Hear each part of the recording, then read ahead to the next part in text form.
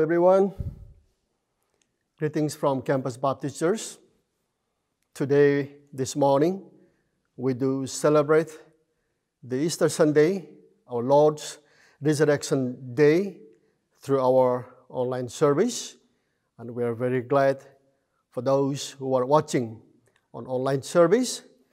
And uh, since, because of the blockade or lockdown days, that we cannot have our worship service at our campus, but our friends and our church members and our friends and the families, we like to appreciate you if you like to give your tithes and offering. And through this uh, online, you can see the account number and you can uh, give to God your tithes and your offering to this given uh, account number. You can worship God through your giving. We appreciate if you do that. Praise the Lord. And uh, for this morning, before we start, let's look to God in prayer. Shall we pray? God in heaven, we do thank you and praise you for this morning. Though we could not gather together in this campus Baptist church, but Lord, we thank you for this online service that our members, our friends, and our families could watch through online and we can worship God together. Heavenly Father, we also pray that you would bless us this morning to commemorate our Lord's resurrection and uh, spend our times to the worship of our God Almighty. God in heaven, we especially do pray for thy servant, Dr. Peter Serian, who is bringing the message to us this morning, that you would speak through him, that we may be challenged this morning, and we may have a saint's life, and we may walk in the likeness of our Savior. We commit the entire program into your mighty care. You would bless us all together. With thanksgiving, we pray in Jesus' name. Amen. God's people say amen. Let's listen to a few songs from our uh, kids.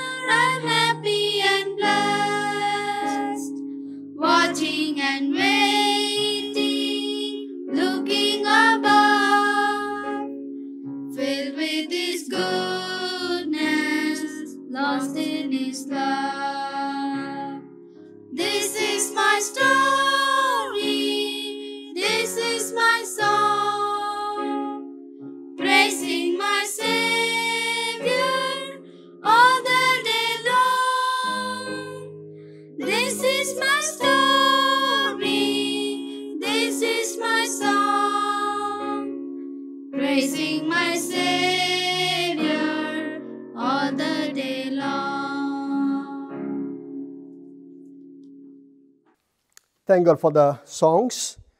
We appreciate. We are really blessed with that. Now, this morning, for our time of worship and time for testimony, though we cannot hear you, you are at home, but I truly believe that you'll worship God together with us this morning. For our worship, we'll go to Psalm number 118. It has 29 verses, and I'm not going to read all of these verses. I'm going to read first four verses, and from the last part, few verses, and then we'll go a few minutes of worship time. Psalm number 118, first four verses. Here it says, All give thanks unto the Lord, for he is good, because his mercy endureth forever. Let Israel now say that his mercy endureth forever. Let the house of Aaron now say that his mercy endureth forever. Let them now that fear the Lord say that his mercy endureth forever. We'll skip few verses, and now I'm going to read from verse number 21. 21. I will praise thee, for thou hast heard me, and art become my salvation. The stone which the builders refuse is become the headstone of the corner. This is the Lord's doing. It is marvelous in our eyes. This is the day which the Lord had made. We will rejoice and be glad in it. Save now, I beseech thee, O Lord. O Lord, I beseech thee, send now prosperity. Blessed be he that cometh in the name of the Lord. We have blessed you out of the house of the Lord. God is the Lord, which had showed us light. Bind the sacrifice with cords, even unto the horns of the altar. Thou art my God, and I will praise thee. Thou art my God, I will exalt thee. Oh, give thanks unto the Lord, for he is good, for his mercy endureth forever. May the Lord bless us through the reading of this psalm. This psalm, Psalm number 118, is the final psalm, or we call uh, the theologians call Egyptian Hallels. It starts from 113, and this is the end of the Egyptian uh, Hallel Psalms, and is the end and the sixth one. And if you see that 118 Psalm is very interesting because the previous one, 117, is the shortest of the Psalms or the shortest chapter in the Bible. The, the following one, Psalm 119, is the longest chapter in the Bible. So it comes between the shortest and the longest chapters of the Bible. And I choose this psalm particularly because of the few verses it speaks of the Lord's resurrection. Therefore, I willfully choose this psalm. It is not easy to outline this psalm because if you see in this psalm, uh, there you could see in the contents of the psalm that the psalmist speaks about. And then the priest, the high priest, uh, reply or speaks. And there is a corporate worship and also that the reply from the congregation. And then the psalmist speaks again. So there are multiple ways we can see uh, in the contents of the psalm, and it's difficult to make outline. However, I just divide this psalm in four sections. Uh, verses 1 to 4, here the psalmist mentioned about his calling. People to worship God. He said, praise, praise God for his loyal love. This is verses 1 to 4. The second section is verses 5 through 13. Here, psalmist draws our attention and he says, Praise God, for he is our Savior.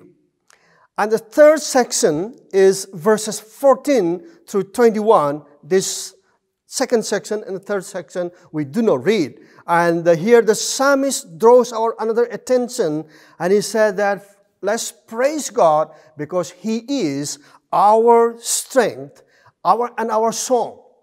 And the last section of this psalm, verses 22 to 29, here the psalmist gives our attention and draws our attention, I mean, that for he is our salvation. Therefore, God's people must praise him. If you see again, verses 5 through 21, it's a personal praise.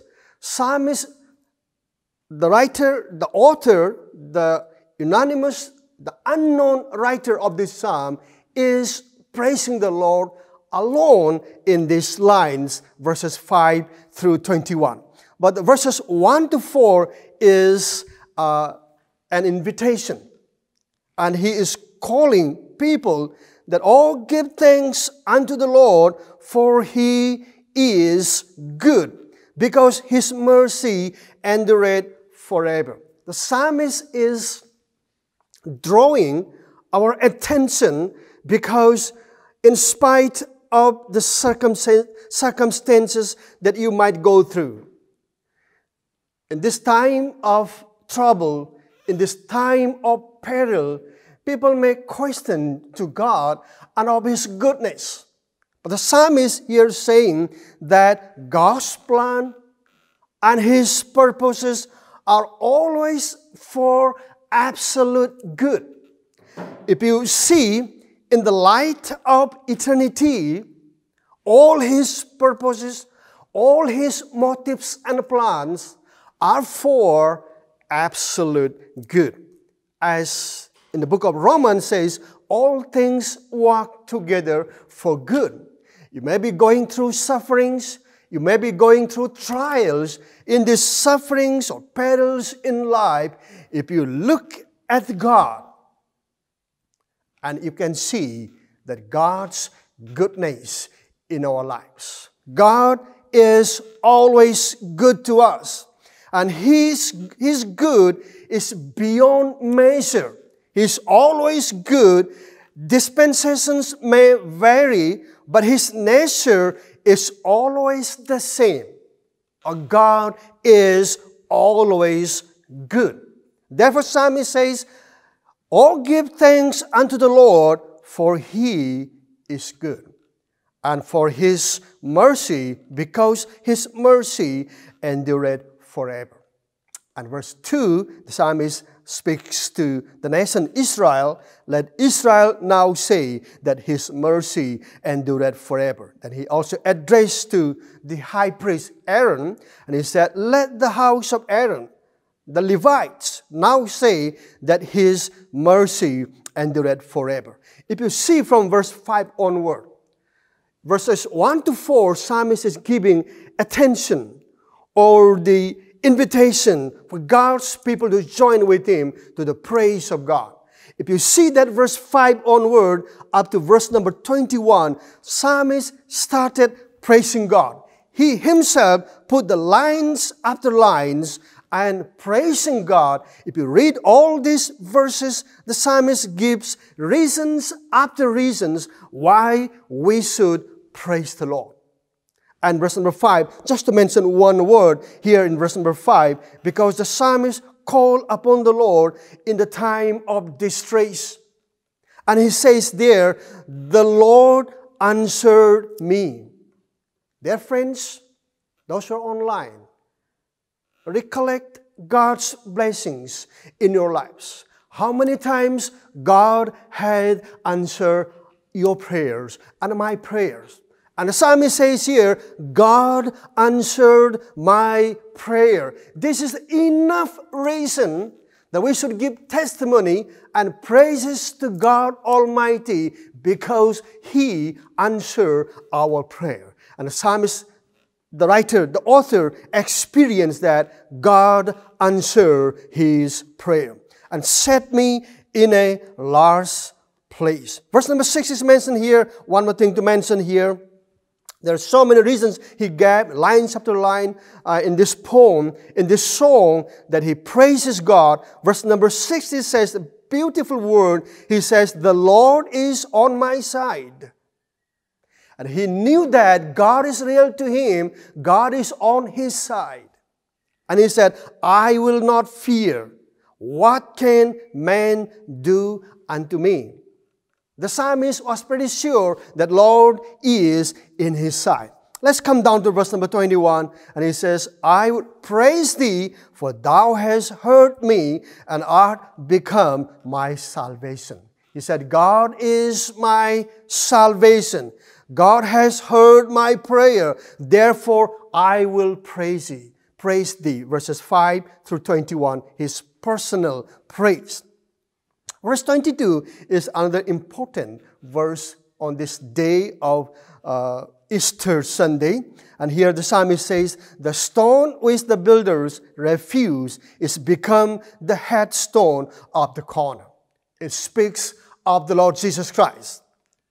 The stone which the builders refused become the headstone that connects the two walls speaks about our connection with God. God, Christ is the mediator that connects people, the sinner, and God through Him. We can speak many of things of this particular verse, but here the psalmist praises God because the stone, talking about Christ, which the builders rejected or refused, become the headstone of the corner. And verse number 23 says, this is the Lord's doing. It is marvelous in our eyes. Dear friends, this stone is from the Lord. It is His choosing. It is His appointing and it is His laying. And he exalted this stone and he put it at his right hand. Then he made it above every name and above every creature and above everything. God had exalted this stone which builder refused. And Psalmist says in verse number 23, B part, it is marvelous too in our eyes. This stone itself is wonderful. You look at the stone, which is talking about Christ, at its beauty and at its strength and its usefulness, at its wisdom and the love, We can all, as the psalmist says, we can all be wonderful. This is a stone. And the verse number 24, it says that this is the day which the Lord had made. We will rejoice and be glad in it. Think about this particular day as it were a new day. You remember Christ's date? We have celebrated Good Friday. Maybe at your respective places and houses, you might worship God. We, in, uh, for, for my part, with my family, we worship God at our home on last Friday, and we remember the Lord's date and uh, His suffering and His burial. And uh, today, the resurrection day, as it were a new day. You remember last Friday, uh, Good Friday, he was in the, in the danger of death. And his days were likely to be cut off and ended. Maybe Satan thought that Christ the Messiah would be cut off and he would be no more. He is crucified. He is buried. And his days would be cut off. But God has another move. That another move is this new day, this particular day that Christ had been resurrected from the dead. And God had exalted him. The psalmist thought about a particular day Uh, maybe in his life, a day that God made him great.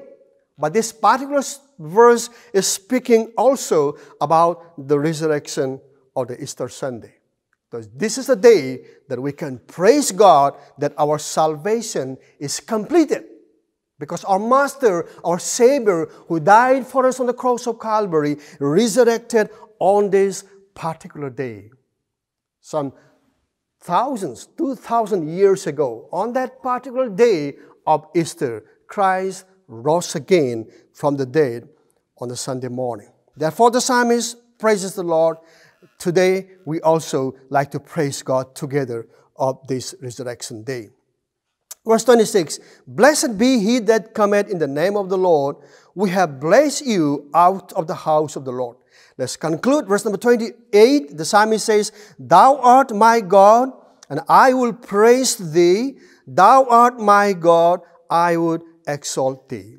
Oh, give thanks unto the Lord, for he is good, for his mercy endureth forever. My dear friends, the psalmist gives reasons after reasons, lines after lines in this poem, in this psalm, in this song for praising God Particularly, He heard our prayer, and He is on our side, and He answers our prayers, and He protected us, and He has given us provisions. Reasons are given here in these lines of the psalm, and particularly this day. This is the day the Lord has made. We will rejoice and be glad in it, because this is the day our Savior, our Master, had been resurrected. Therefore, remember God's blessings this morning, especially His salvation and His answer prayers in our prayers, and also His blessings in our lives. Let us remember those things and let us praise Him. Shall we praise together? I would like to give those who are online a minute, less, maybe less than a minute's time. You may bow down wherever you are and let us remember His blessings in your life. His answered prayers, and His particular blessings in your family, in your life, and His salvation, and today, particularly of his resurrection.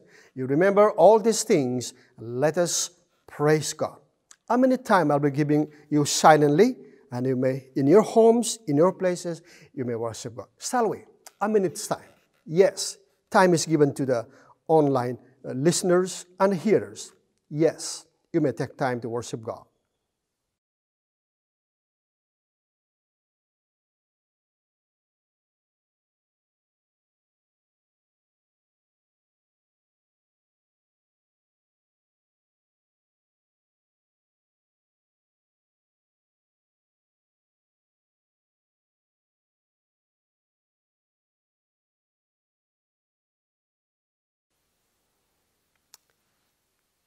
Yes, if you worship God, we uh, praise God for that. And let us worship with me now. Uh, let's all bow down to worship God. And I'll pronounce prayer or worship or thanksgiving for the congregation, those who are online in your, at your respective places. Let's pray, God. We thank you for this morning, especially on this resurrection day. This is the day that the Lord has made, and we will rejoice and be glad in it.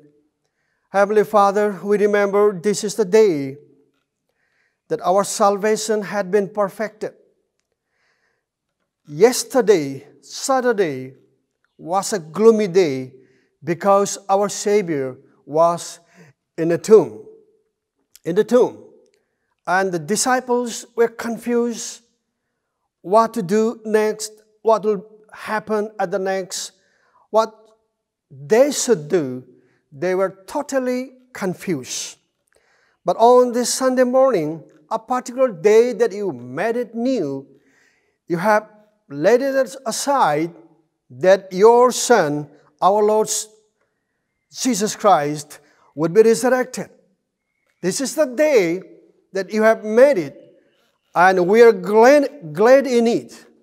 Heavenly Father, this is a day that our salvation is perfected, and we are very, very glad in it, along with the psalmist. Praise you for all your marvelous grace and unfathomable love that you have bestowed upon us through thy Son in our lives. We thank you, we praise you for answering our prayers. We worship you this morning along with the online lookers. That we bow down before you, we give you our obeisance unto you, and we like to say together, Thank you, God, for saving our souls. Thank you, God, for making us thy children. Thank you, God, particularly for this resurrection day. We worship you, we give you praise and honor in the precious name of our Lord and Savior, Jesus Christ. Amen. Thank you. May God bless you. Now we'll listen to uh, another songs, and after that we'll have we'll listen to the preaching also. Thank you.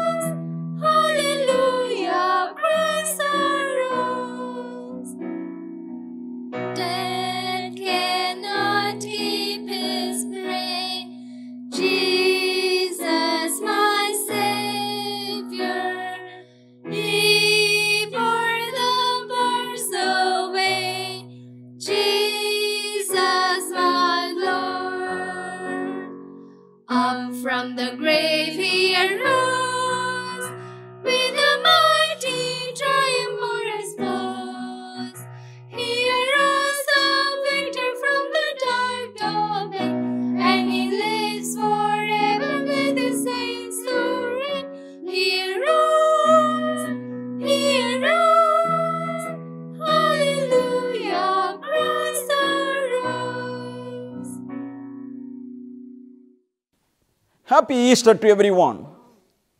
Trust you are all taking good precaution to protect yourselves from coronavirus.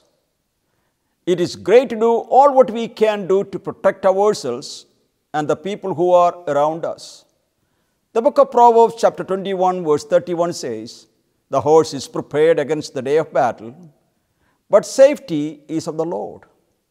Easter Sunday, the whole world celebrates the resurrection of our Savior, the Lord Jesus Christ. We have a message to proclaim that is, Jesus Christ is risen. Let us remember the doctors, nurses, paramedics, and the sanitary workers who are at the front line at the risk of their own lives to save the life of others. Though we are not able to worship the Lord together, let us worship Him from wherever we are at this moment. May God Almighty protect you and your families from this pandemic. This morning, I would like to bring a message on the resurrection of the Lord Jesus Christ. Please turn your Bibles with me to the book of 1 Corinthians, chapter 15. And I would like to read two portions from this chapter 15, verses 1 to 9, and also verses 12 to 21. Moreover, brethren, I declare unto you the gospel which I preached unto you, which also ye have received, and wherein ye stand, by which also ye are saved, if ye keep in memory what I preached unto you, unless ye have believed in vain. For I delivered unto you first of all that which I also received, how that Christ died for our sins according to the Scriptures, and that he was buried, and that he rose again the third day according to the Scriptures, and that he was seen of Cephas, then of the twelve. After that, he was seen above five hundred brethren at once, of whom the greater part remain unto this present, but some are fallen asleep. After that, he was seen of James, then of all the apostles, and last of all, he was seen of me also, as of one born out of due time.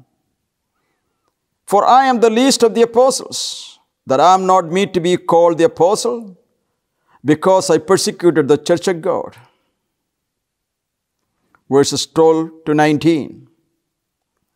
Now, if Christ be preached that he rose from the dead, have ye say among you that there is no resurrection of the dead? But if there be no resurrection of the dead, then is Christ not risen? And if Christ be not risen, then is our preaching vain, and your faith is also vain. Yea, and we are found false witnesses of God, because we have testified of God that he raised up Christ, whom he raised not up. If so be that the dead rise not. For if the dead rise not, then is not Christ raised. And if Christ be not raised, your faith is vain. You are yet in your sins. Then they also which are fallen asleep in Christ are perished. If in this life only we have hope in Christ, we are of all men most miserable. Now, is Christ risen from the dead and become the first fruits of them that slept? For since by man came death, by man came also the resurrection of the dead. Let us pray. Our loving Heavenly Father, we thank you and praise you for your word. Lord, we thank you for this privilege of our words to worship the King of Kings and the Lord of Lords.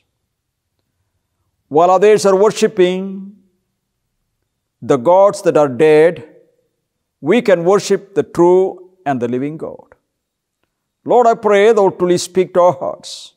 In Jesus' name we pray. Amen. The title of the message is Why the resurrection of Jesus Christ is important. There are many reasons, but I would like to give you four main reasons. Number one, resurrection is the cornerstone of Christianity. Number two, resurrection is an integral part of the gospel.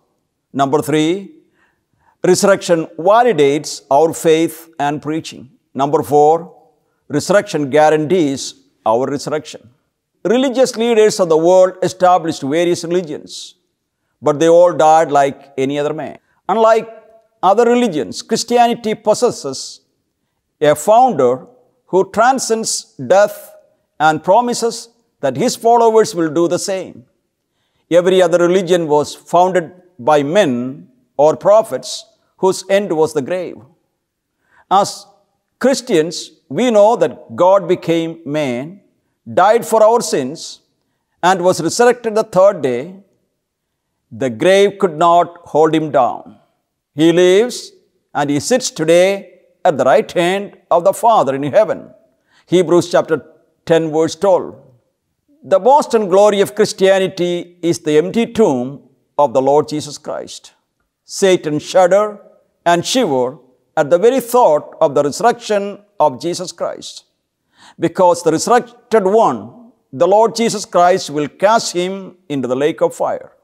Revelation chapter 20, verse 10 says, And the devil that deceived them was cast into the lake of fire and brimstone, where the beast and the false prophets are, and shall be tormented day and night forever and ever. Many try to disprove the resurrection of the Lord Jesus Christ. In 1998, Lee Strobel, a reporter of the Chicago Tribune, and a graduate of Yale Law School published The Case for Christ. Strobel had formerly been an atheist and was compelled by his wife's conversion to Christianity to refute the key Christian claims about Jesus. He took the task of disproving the resurrection of Christ. He approached the subject by asking four questions. Was Jesus really dead? Did believers invent this theory? Was the tomb actually empty? Did people actually see Jesus alive? He concluded his research with this note and said, disproving the resurrection wasn't easy. In fact, it was impossible.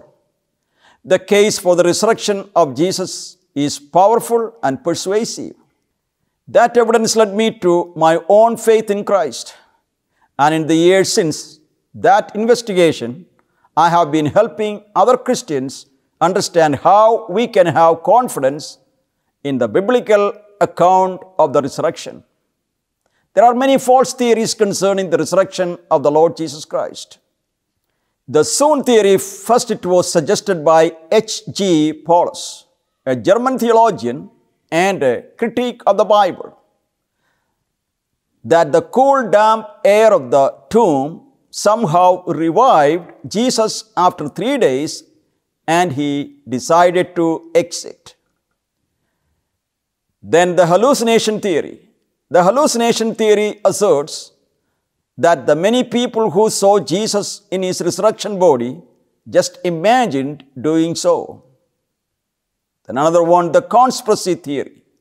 The conspiracy theory suggests that Christ's disciples simply stole his body and fabricated the resurrection today.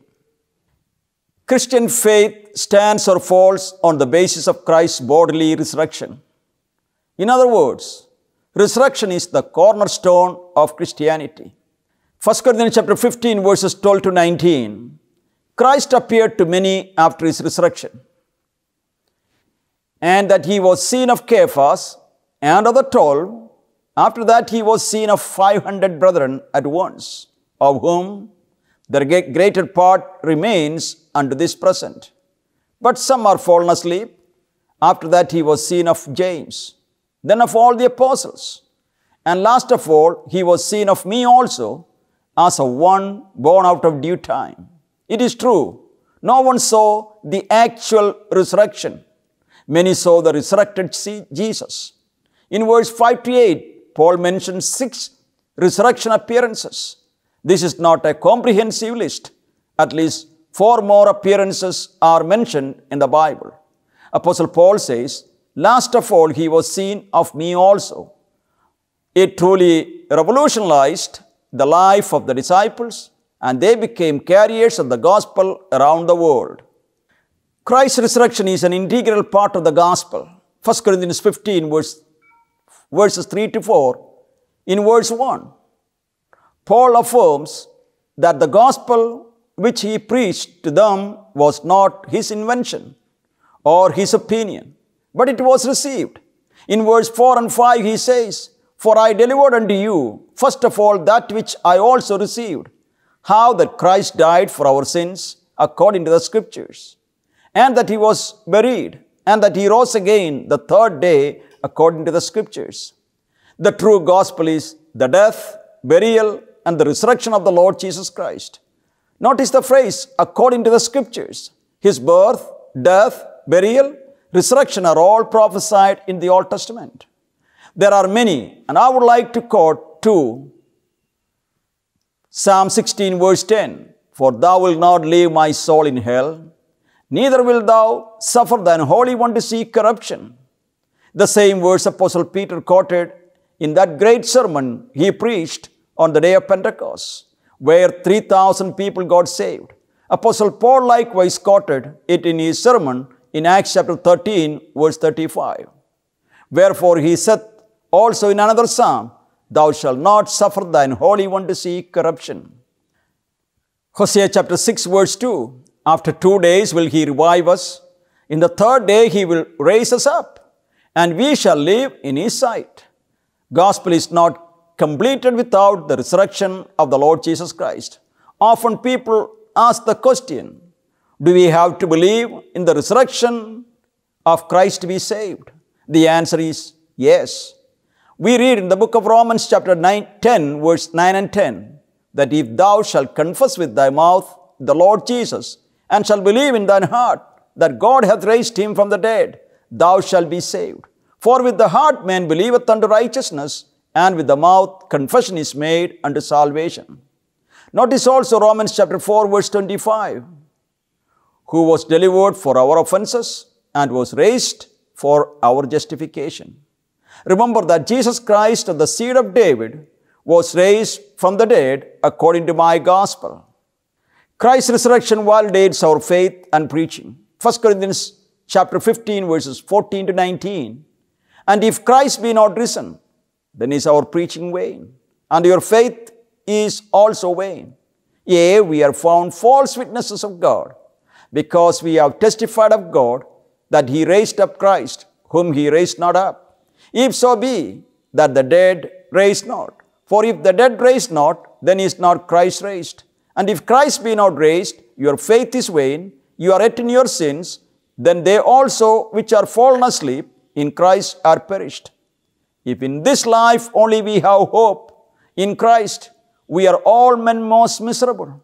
Apostle Paul says, Take out the resurrection, then there is nothing left in Christianity.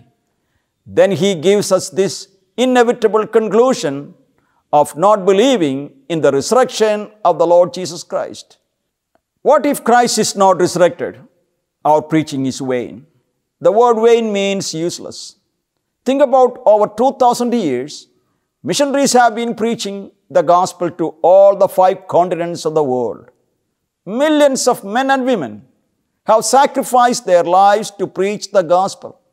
Many of them have been beaten, slaughtered, burned at stake, tortured, and crucified upside down. If Christ hasn't resurrected, all the suffering they underwent was useless. Then Apostle Paul says, Your faith is vain. All what you believed about the Son of God, the forgiveness of sins, of those trusted in Him for salvation, and the eternal punishment for those rejected Him are all futile. You are still under condemnation. Then he says, if Christ is not risen, we are found false witnesses, which means all the apostles are liars because they testified that God had raised him up. If Christ is not risen, then those who have fallen asleep in Christ have perished. Those dead in Christ, their souls are lost. They are in misery in the unseen world. The word perished means ruined, destroyed. Then he says, if Christ is not resurrected, our hope is limited to this world only. Our most cherished hope of living with Him, all eternity, only a wishful thinking. On April 8, 2017, BBC reported, and I quote, a quarter of people who describe themselves as Christians in Great Britain do not believe in the resurrection of Jesus. Friends, their belief will not change the fact those who do not believe in life after death, their philosophy is if life ends at death, why not live it up? Apostle Paul describes the attitude of those who do not believe in the resurrection, says in 1 Corinthians 15 32, Let us eat and drink, tomorrow we die. Our faith is in the Word of God. This is the reason why Apostle Paul said in verse 3 of chapter 15, For I delivered unto you first of all that which I also received. Our confidence is in the Word of God. Matthew chapter 24, verse 35, we read, Heaven and earth shall pass away, but my word shall not pass away. Finally, resurrection of Christ guarantees our resurrection at the rapture. 1 Corinthians 15, verses 51 to 55. Behold, I show you a mystery. We shall not all sleep, but we shall be changed. In a moment, in the twinkling of an eye, at the last trump, for the trump shall sound, and the dead shall be raised incorruptible, and we shall be changed. For this corruptible must put on incorruption, and this mortal must put on immortality. So when this corruptible shall have put on incorruption, and this mortal shall have put on immortality, then shall be brought to pass the saying that it is written, Death is swallowed up in victory. O death, where is thy sting? O grave, where is thy victory? If Christ hasn't resurrected, we have no hope of resurrection. Resurrection is the final defeat of death. Oh, what a day that will be when our Savior comes to receive us. We call it the rapture. We read it in the book of 1 Thessalonians chapter 4 verse 16. For the Lord himself shall descend from heaven with a shout, with the voice of the archangel, and with the trump of God, and the dead in Christ shall rise first.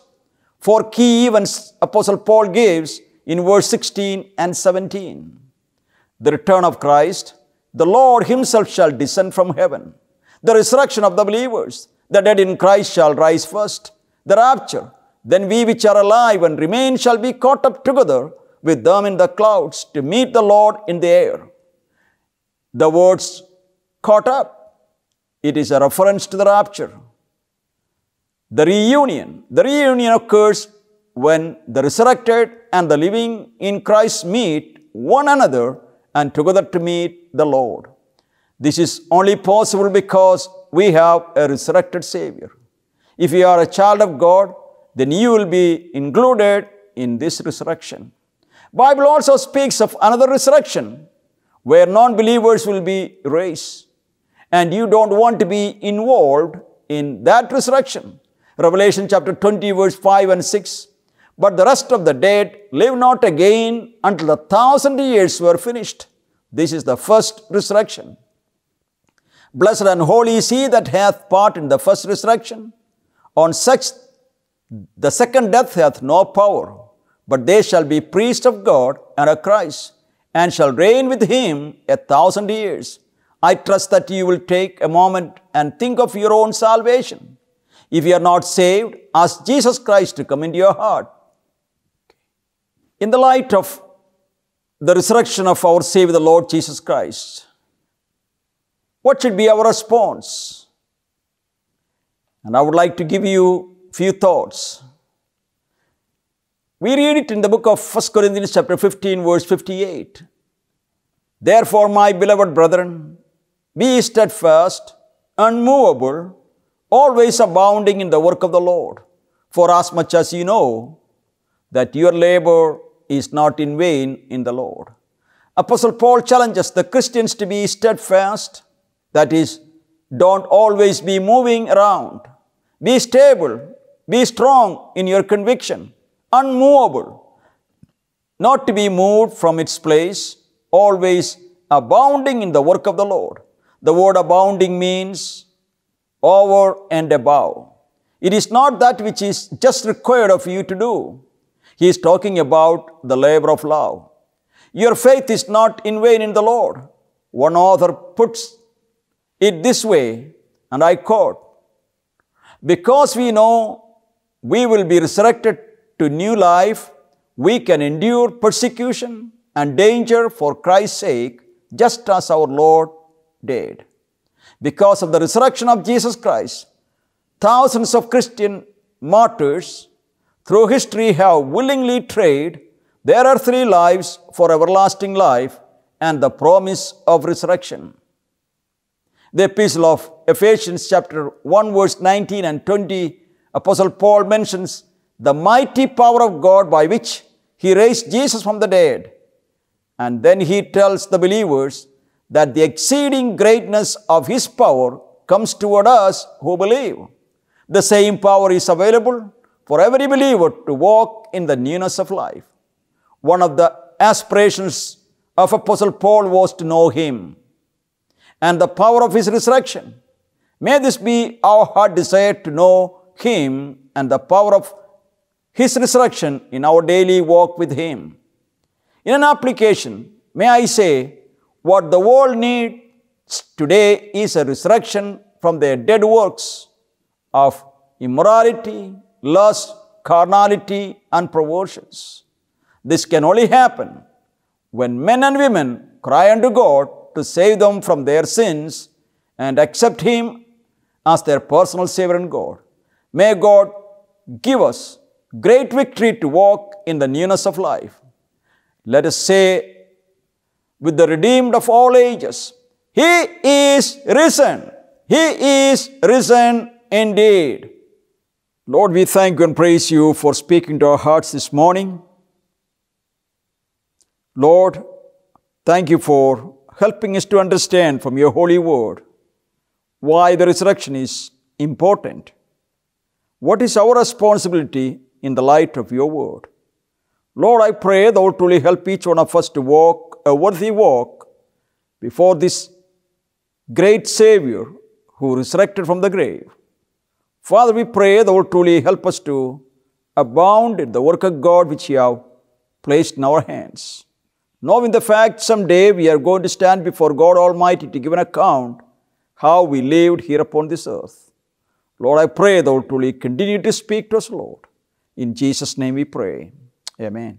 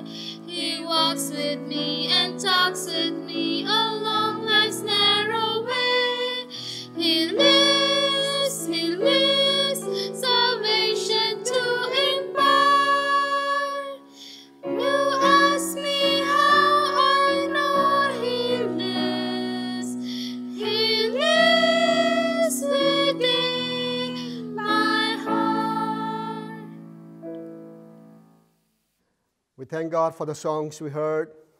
That was excellent. We appreciate that. We also praise God for the message we heard this morning.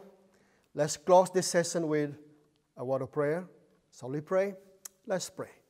Heavenly Father, we thank you so much for this morning. We thank you for this online program.